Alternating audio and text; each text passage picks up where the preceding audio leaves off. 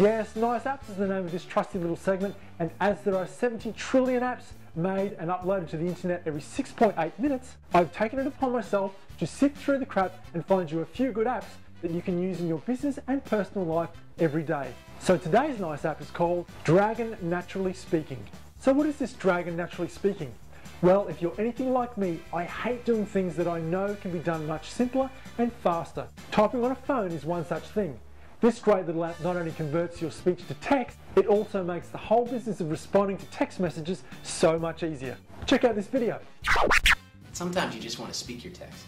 You can drop text anywhere into your device. Simply press the button.